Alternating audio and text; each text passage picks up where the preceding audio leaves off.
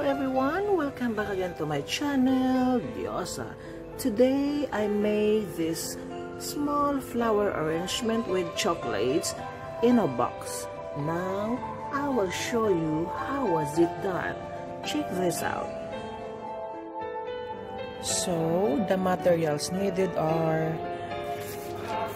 the styrofoam, the cover, this one for the vase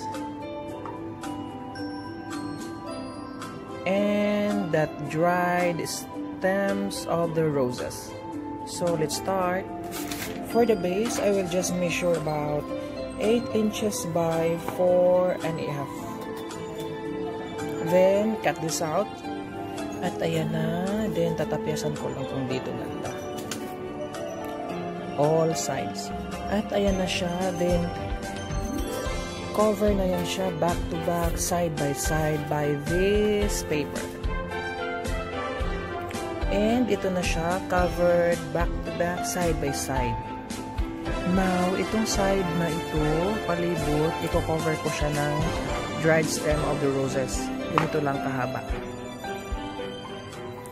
And ito na siya. Covered na buong sides at sinuportahan ko na yun dito siya para hindi sure siya na hindi matanggal. At para sa vase, ito siya, tatanggalin ko lang tong dito, din ipagsama. Ayan, tanggal na yung ano niya, bottom part, din ipagsama ko na sila.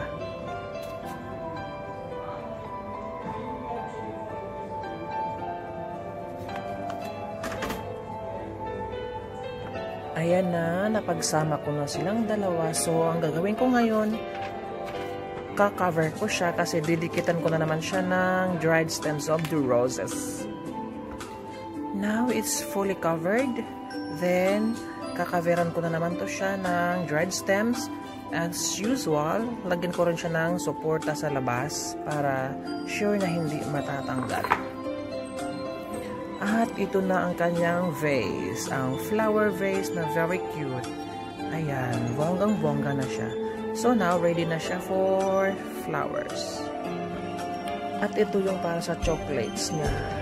Konting-konting chocolates lang para this design will be too much cute. Now, ididikit ko na tong small flower vase. Lalagyan ko na ng floral foam na may water. At ito yung gagamitin kong flowers. Tatlong peraso lang, one pink, white and yellow, uh, red. Then, konting chrysanthemum, konting dahon-dahon, at saka yung gypsum. At ayan na, tapos na ang aking very small flower arrangement with chocolate in a very creative box. Ayan na siya. Chocolates na. Ayan na siya.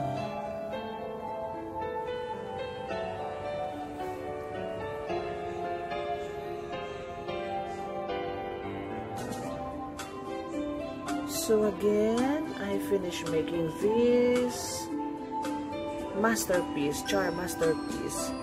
Thank you for watching guys. And don't forget to like and subscribe to my channel to get more updates. Bye bye.